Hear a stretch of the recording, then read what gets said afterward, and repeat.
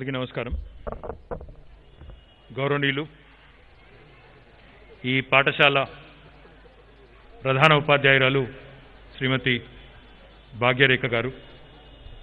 గౌరవనీయులు ఈరోజు ఈ కార్యక్రమానికి విశిష్ట అతిథిగా విచ్చేసిన పెద్దలు రాష్ట్ర ప్రణాళిక మండలి ఉపాధ్యక్షులు గౌరవనీయులు మాజీ పార్లమెంట్ సభ్యులు బోయిన్పల్లి వినోద్ కుమార్ గారు జిల్లా పరిషత్ అధ్యక్షురాలు సోదరి శ్రీమతి న్యాలకొండ అరుణ రాఘవరెడ్డి గారు.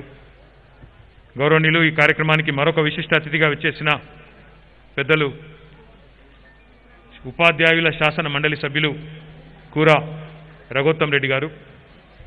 ఈ కార్యక్రమంలో మరొక అతిథిగా విచ్చేసిన స్థానిక మున్సిపల్ చైర్మన్ గారు సోదరి శ్రీమతి జిందం కళా చక్రపాణి గారు.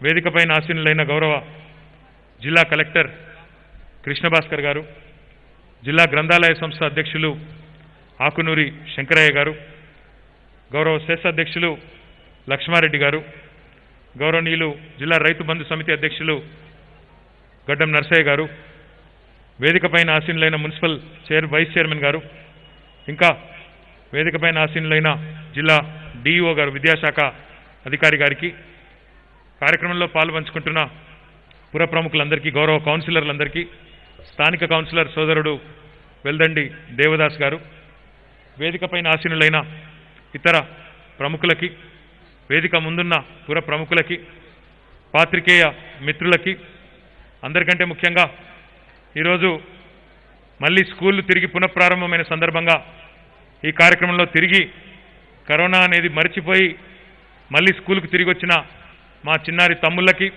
చెల్లెళ్ళందరికీ పేరు పేరున మళ్ళీ తిరిగి విద్యా సంవత్సరానికి స్వాగతం సుస్వాగతం. ముఖ్యంగా ఈ పాఠశాల ఉపాధ్యాయులకి విద్యార్థులకి హృదయపూర్వకమైన శుభాకాంక్షలు కూడా నేను తెలియజేస్తా ఉన్నాను. చాలామంది మిత్రులు వక్తలు నా ముందు మాట్లాడిన వాళ్ళంతా కూడా ఇక్కడ జరిగిన కార్యక్రమం గురించి సవివరంగా చెప్పడం జరిగింది. పంతొమ్మిది వందల సంవత్సరంలో ఈ పాఠశాల నెలకొల్పబడి ఆనాటి నుండి ఈనాటి వరకు వేలాది మందికి విద్యాబుద్ధులను అందించి ఎంతోమందిని సమాజానికి ఉపయోగపడే ప్రపంచానికి ఉపయోగపడే ప్రయోజకులుగా తయారు చేసింది ఈ జిల్లా పరిషత్ హై స్కూల్ గీతానగర్. అట్లాంటి ఈ పాఠశాల దాదాపు సంవత్సరంన్నర కిందట నేను ఆనాడు ఏదో ఒక ఫంక్షన్కి వచ్చినప్పుడు ఆ తర్వాత ఇక్కడ ఉపాధ్యాయ మిత్రులు కూడా చెప్పినప్పుడు ఇక్కడ ఉన్న పరిస్థితి మౌలిక వసతుల సౌకర్యం లేకపోవడం ఇవన్నీ చూసిన తర్వాత ఏదో సందర్భంలో బాగా చేయాలనే ఒక ఆలోచన ఉండింది. అనుకోకుండా ఈ కరోనా మహమ్మారి రావడం మొత్తం అన్ని విద్యాసంస్థలు మూతపడడం దాంతో పెద్దలు చెప్తారు ఇప్పుడు every adversity also presents an opportunity అంటే ఒక ఇంతకుముందు చెడులో మంచి వెతుక్కోమని చెప్పారు. అదే పద్ధతిలో ప్రపంచం మొత్తం ఈ మహమ్మారి వల్ల బాధపడుతున్నప్పటికీ దీనిలోంచి కూడా ఏదైనా మంచి తీసుకోవచ్చు అన్న ఆలోచనతో మనం పూర్తి స్థాయిలో దీన్ని పునర్నిర్మాణం చేస్తే ఎట్లా ఉంటుందని చెప్పి మా తమ్ముడు సంకేత్ కొండూరి గివ్ తెలంగాణ సంబంధించి వారితో కలిసి దీనికి రూపకల్పన చేయడం జరిగింది. చేసిన తర్వాత దాదాపు ఒక మూడున్నర నాలుగు కోట్ల రూపాయలు అవసరం పడతాయి. మరి ప్రభుత్వ నిధులతో ఇదే పని చేస్తే ప్రభుత్వ నిధులు అన్నప్పుడు జరిగిందంటే మళ్ళీ కాంట్రాక్టు ఆ తర్వాత దానిలో అన్ని రకాల టైం టైం లేట్ కావడం ఇంకా రకరకాల కార్యక్రమాలు జరుగుతాయి. అట్లా కాకుండా చాలా సంస్థలు ఇవాళ కార్పొరేట్ సోషల్ రెస్పాన్సిబిలిటీలో భాగంగా విద్యకు ముఖ్యంగా డబ్బులు కేటాయించడానికి ముందుకు వస్తూ ఉన్నారు. మరి మీరు అడిగితే తప్పకుండా సహాయం చేస్తారు అని చెప్పి సంకేత్ గారు అదే రకంగా కలెక్టర్ గారు కృష్ణభాస్కర్ గారు చెప్పడం. దాంతో నేను మన దివి ల్యాబ్ సంబంధించిన కిరణ్ దివి గారితో మాట్లాడి వారు వెంటనే ఒప్పుకోవడం. మరి ఈరోజు సుబ్బారావు గారు కూడా వచ్చారు. వారికి కూడా హృదయపూర్వక ధన్యవాదాలు. దివి ల్యాబ్స్ నుంచి వారు ఈ డబ్బులు మనకు కేటాయించడం కేటాయించడంతో ఈరోజు ఈ పాఠశాలను అపురూపంగా దాదాపు నలభై గదులు అందులో ఇరవై తరగతి గదులు స్టాఫ్ రూము ప్రిన్సిపల్ రూమ్ నాకు అన్నిటికన్నా బాగా నచ్చింది డైనింగ్ హాల్. ఒకటేసారి నాలుగు వందల మంది కూర్చొని తినే విధంగా బ్రహ్మాండమైన డైనింగ్ హాల్ పిల్లల కోసం కట్టుకున్నాం. దాంతోపాటు ముప్పై రెండు డెస్క్టాప్లు పెట్టుకొని హై స్పీడ్ ఇంటర్నెట్ పెట్టుకొని పిల్లలకు ఒక అధునాతనమైన కంప్యూటర్ ల్యాబ్ ఒక సైన్స్ ల్యాబ్ ఒక ఇన్నోవేషన్ ల్యాబ్ అదే రకంగా పిల్లలకి ఏమైనా ఆరోగ్యపరమైన సమస్యలు వచ్చినా ఒక చిన్న క్లినిక్ ఫస్ట్ ఎయిడ్తో సహా చిన్న చిన్న కార్యక్రమాలకి ఒక చిన్న క్లినిక్.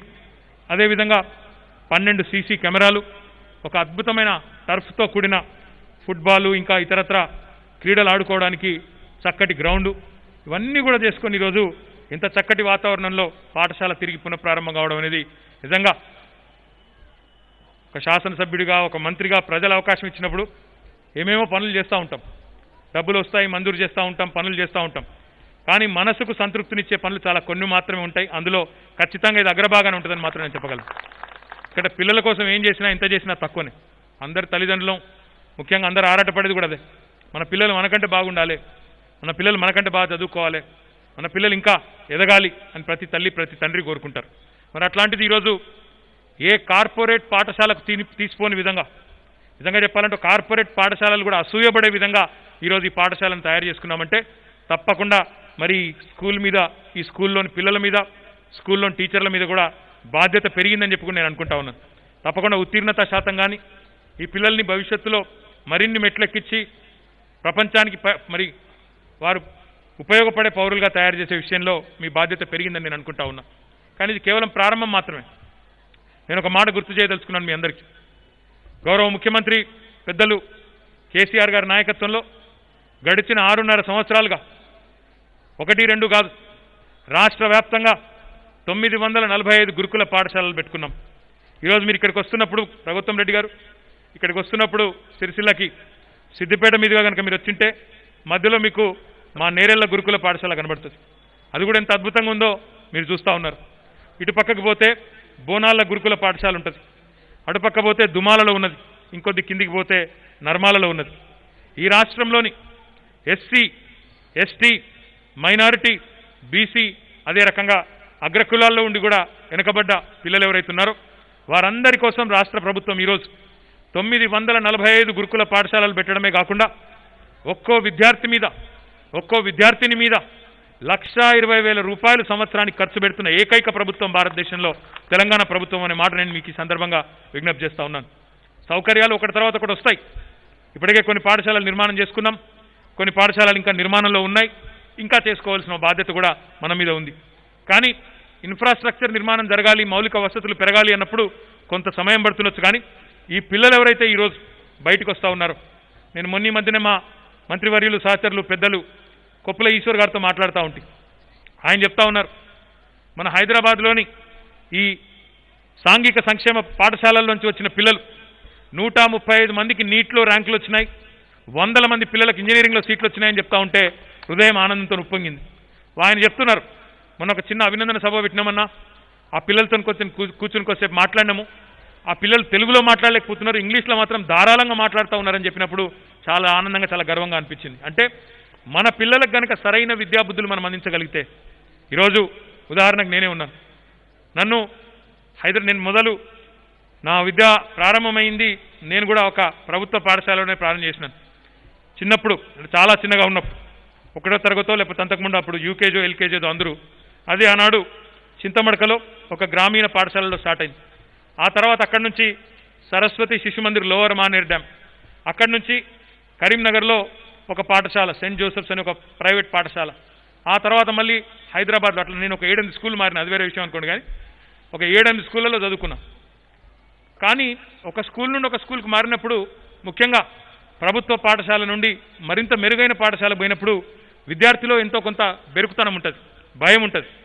కొత్త స్కూలు ఆడ పిల్లలు బాగా మాట్లాడతారు మనకంటే ఎక్కువ తెలివి ఉంటుందేమో అనే ఒక భయం ఉంటుంది. కానీ ఎట్లెట్లయితే ఎట్లెట్లయితే నా తల్లిదండ్రులు నన్ను ప్రోత్సహించినారో ఎట్లెట్లయితే ఒక అవకాశం కల్పించినారో దాన్ని అందిపుచ్చుకొని ఈరోజు నేను అమెరికా పోగలిగినాను బయటికి పోగలిగినాను చదువుకోగలిగినాను. అదే రకమైన వాతావరణం కనుక మన పిల్లలకు మనం కల్పించగలిగితే తప్పకుండా అత్యుత్తమమైన ఫలితాలు ప్రపంచమే అబ్బురపడే ఒక పౌర సమాజాన్ని కూడా మనం తెలంగాణ నుంచి తయారు చేసే అవకాశం ఉంది. ఈరోజు తెలంగాణలో ఇంతకుముందు నేను చెప్పిన చెప్పినట్టు ఒక లక్ష ఇరవై వేల రూపాయలు ఒక్కో పిల్లోడు పిల్ల మీద ఖర్చు పెడతా ఉన్నాం. అది మాత్రమే కాదు. తెలంగాణలో ఈరోజు పాఠశాలకి పోతే గవర్నమెంట్ పాఠశాలకు పోతే మధ్యాహ్నం సన్న బియ్యంతో భోజనం పెట్టే సంస్కారం ఉన్న ప్రభుత్వం. అదే ఒకవేళ రెసిడెన్షియల్ పాఠశాలకు పోతే ఇంతకుముందే నేను చెప్పినట్టు ఒక్కో విద్యార్థి మీద విద్యార్థిని మీద బట్టలు పుస్తకాలు బూట్లు దుప్పట్లతో సహా అన్ని ప్రభుత్వమే భరించి లక్ష ఇరవై వేల రూపాయలు ఖర్చు పెట్టుకుంటున్నాం. ఇంకొద్దిగా పెద్దగై ఒక పాఠశాలకు ప్రైవేట్ పాఠశాలకు పోయినా ప్రైవేట్ కళాశాలకు పోయినా ఫీజు రీఇంబర్స్మెంట్ ద్వారా వేల కోట్ల రూపాయలు ప్రతి సంవత్సరం వారికి మనం కేటాయించుకుంటా ఉన్నాం. ఇంకొద్దిగా పెద్దగా. నేను ఒకవేళ విదేశాలకు పోయి చదువుకుంటానంటే భారతదేశంలో ఏ ప్రభుత్వం లేదండి. ఏ రాష్ట్రంలో లేదు. కేవలం తెలంగాణలో మాత్రమే ఈరోజు ఒక మహాత్మా జ్యోతిబా ఫూలే స్కాలర్షిప్. ఒక అంబేద్కర్ ఓవర్సీస్ స్కాలర్షిప్ ద్వారా ఇరవై లక్షల రూపాయలు ఇచ్చి విద్యాబుద్ధులు విదేశాల్లో కూడా చెప్పించే ఏకైక ప్రభుత్వం కేసీఆర్ గారి ప్రభుత్వం అనే మాట ఈ సందర్భంగా నేను మీకు విజ్ఞప్తి చేస్తా ఉన్నాను. అంటే ఒక విద్యారంగంలో ఇంతటి సమూలమైన సంస్కరణలు తెచ్చే ప్రయత్నం ఈరోజు మన రాష్ట్ర ప్రభుత్వం చేస్తూ ఉంది. ఈరోజు దివి ల్యాబ్స్ వాళ్ళు ఎట్లా అయితే ఇక్కడికి వచ్చి మన విజ్ఞప్తి మేరకు ఇంత చక్కటి మనం భవనాలు ఇంత చక్కటి వసతులు నిర్మాణం చేసుకోవడానికి వారు సహాయపడ్డారు. నేను రాష్ట్రంలోని పారిశ్రామికవేత్తలందరికీ కూడా నేను విజ్ఞప్తి చేస్తూ ఉన్నాను. మీరు కార్పొరేట్ సోషల్ రెస్పాన్సిబిలిటీలో భాగంగా మీరు మండల కేంద్రాలు నియోజకవర్గ కేంద్రాలు పట్టణాల్లో ఉండే వివిధ పాఠశాలల్ని మీరు ఇదే పద్ధతిలో దివి ల్యాబ్స్ తీసుకున్నట్టే మీరు కూడా దత్తత తీసుకోండి. ప్రభుత్వంతో కలిసి పనిచేయడానికి ముందుకు రండి. పూర్తి స్థాయిలో ప్రభుత్వం సహకరించడానికి కూడా సిద్ధంగా ఉంది. ప్రభుత్వ పరంగా కేటాయించే నిధులు కేటాయించుకోవడంతో పాటుగా మనం ఈ రకంగా ఈ పబ్లిక్ ప్రైవేట్ పార్ట్నర్షిప్ మోడ్లో ఎందుకంటే సామాజిక బాధ్యతగా కార్పొరేట్లు కూడా ముందుకొచ్చినప్పుడు డెఫినెట్గా మరింత మార్పు మరింత వేగంగా వచ్చే అవకాశం కూడా ఉంటుంది. ఈ మాట ఎందుకంటా ఉన్నా అంటే ఇదే పని మనం ప్రభుత్వ రంగంలో చేయాలి అంటే ఇంత వేగంగా ఈ నిర్మాణం పూర్తయ్యేది కాదు. కనీసం రెండేళ్ళన మూడేళ్ళన పట్టేది. ప్రభుత్వం ద్వారా చేసింటే. అట్లా కాకుండా ప్రైవేట్ ద్వారా చేసుకున్నాం కాబట్టి ఇంత వేగంగా పిల్లలు మళ్ళీ బడికి వచ్చే లోపల అద్భుతమైన ఒక పాఠశాలను ఈరోజు ఆవిష్కరించుకోగలుగుతా ఉన్నాం. నేను పిల్లలకు కూడా విజ్ఞప్తి చేస్తూ ఉన్నా మీకోసం ఇందులో అద్భుతమైన లైబ్రరీ ఉంది. మూడు వేల పుస్తకాలు ఉన్నాయి. ముప్పై రెండు కంప్యూటర్స్ ఉన్నాయి. మీకోసం సైన్స్ ల్యాబ్ ఉంది ఇన్నోవేషన్ ల్యాబ్ ఉంది. మీరు కేవలం ఉద్యోగం కోసమే చదివే చదువు కాకుండా పది మందికి ఉద్యోగాలు ఇచ్చే దిశగా మీరు కూడా చదువుకోవాలని పది మందికి ఉపాధి కల్పించే దిశగా మీరు కూడా ఆలోచించాలని కొత్త కొత్త ఆలోచనలు ప్రశ్నించే తత్వాన్ని అలవర్చుకోవడం. ఎవరైనా ఏదైనా చెప్తే కేవలం వినడమే కాకుండా ఇట్లా ఎందుకుంది ఇట్లానే ఎందుకు ఉండాలి అని ప్రశ్నించే తత్వం కూడా అలవర్చుకోవాల్సిన బాధ్యత కూడా చిన్నతనం నుంచే మనకుంటే ఆ తత్వం కూడా బోధపడితే డెఫినెట్గా మరింత మన పరిధి కూడా మన మానసిక పరిధి కూడా పెరుగుతుంది. ప్రత్యేకంగా ఈ గ్రౌండ్ కూడా ఇంత అందంగా ఎందుకు చేసినామంటే పిల్లలకు కేవలం చదువులే కాదు మానసిక ఉల్లాసం మాత్రమే కాదు ఫిజికల్ లిటరసీ కూడా కావాలి. ఫిజికల్ లిటరసీ అంటే దేహదారుఢ్యం అని ఏదో అందరూ బాడీలు పెంచాలని కాదు. తప్పకుండా మానసిక ఉల్లాసం ఉండాలి పిల్లలు బాగా చదవాలి అన్నప్పుడు తల్లిదండ్రులు కూడా పిల్లల్ని క్రీడల వైపు కూడా ప్రోత్సహించాల్సిన బాధ్యత కూడా ఉంది. కేవలం చదివితే మాత్రమే కాదు పిల్లలు ఆరోగ్యంగా ఉండాలి అంటే వారికి శారీరక శ్రమ కూడా అవసరం. దానికోసమే ఇంత చక్కటి గ్రౌండ్ కూడా మరి కేటాయించుకోవడం జరిగింది. చాలా చక్కగా వచ్చింది. ఇప్పుడే వినోద్ కుమార్ గారు రాగానే అంటున్నారు. వేరే దేశాల్లో ఉంటాయి ఇట్లా ఇంత హంగామాతో ఉంటాయి. మళ్ళీ ఈరోజు సిరిసిల్లలో చూస్తున్నా చాలా సంతోషమని వినోద్ కుమార్ గారు చెప్పారు. చాలా చాలా ధన్యవాదాలు. కానీ నేను భాగ్యరేఖ గారికి ఒకటే చెప్తా ఉన్నా. అమ్మ మీరు మీ మున్సిపల్ చైర్మన్ గారు మీ బాధ్యత ఇక కట్టించింది నా బాధ్యత. దీన్ని మెయింటైన్ చేసేది మీ బాధ్యత. నేనైతే రోజు వచ్చి దీన్ని సాఫ్ చేయలేను. నేనైతే రోజు వచ్చి దీన్ని శుభ్రంగా పెట్టలేను. ఆ బాధ్యత మీరు మీ పాఠశాలలోని మీ ఉపాధ్యాయులు మా మున్సిపల్ చైర్మన్ గారు వైస్ చైర్మన్ గారు మీరే తీసుకోవాలి స్థానిక కౌన్సిలర్ తీసుకోవాలి మీరే మెయింటైన్ చేయాలి. ఎందుకు అంటే ఇది మన మన పిల్లల కోసం మన పట్టణంలో కట్టుకున్న పాఠశాల. దీన్ని మెయింటైన్ చేసుకునే బాధ్యత కూడా మున్సిపాలిటీ మీద కూడా ఉంటుంది. జిల్లా పరిషత్ హై స్కూల్ అయినప్పటికీ పట్టణ పరిధిలో ఉంది కాబట్టి మున్సిపల్ పరిధిలో ఉంది కాబట్టి మెయింటెనెన్స్ బాధ్యత మీరు తీసుకోవాలని చెప్పి కూడా మళ్ళొకసారి కోరుతూ మరి ఇక్కడ ముఖ్యంగా వ్యాయామ ఉపాధ్యాయులు ఫిజికల్ ఎడ్యుకేషన్ టీచర్లు ఎవరైతే ఉన్నారో వారికి కూడా నా విజ్ఞప్తి. మరి ఇంత చక్కటి గ్రౌండ్ మీకు ఇచ్చినప్పుడు ఇక్కడ లేరా? అర్జెంటుగా తెప్పించుకోండి మీ డిఓ గారికి చెప్పి తెప్పించుకోండి. తప్పకుండా పిల్లలకి మంచి ఫుట్బాల్ కానీ వాలీబాల్ కానీ ఇంకోటి కానీ ఇంకోటి కానీ చేసుకునే అవకాశం మరి ఉంది కాబట్టి ఇక మా దేవతా ప్రభాకర్ లాంటి మంచి మంచి ఇక్కడ వ్యాయామ ఉపాధ్యాయులు కూడా ఉన్నారు మా అంజన లాంటి వాళ్ళు ఉన్నారు. కాబట్టి మీరు కూడా దయచేసి మీ సమయాన్ని కూడా కొద్దిగిచ్చి పిల్లలను ఆ దిశగా కూడా మలపాలని చెప్పి మ- మళ్ళీ మళ్ళీ కోరుతూ ఇది కేవలం ప్రారంభం మాత్రమే నేను మళ్ళీ చెప్తా ఉన్నాను ఇట్లాంటి పాఠశాలలు తప్పకుండా తెలంగాణలోని ప్రతి మండలంలో ప్రతి జిల్లాలో ప్రతి పట్టణంలో రావాలనేదే మా ముఖ్యమంత్రి గారి కళ మన ప్రభుత్వం యొక్క కళ.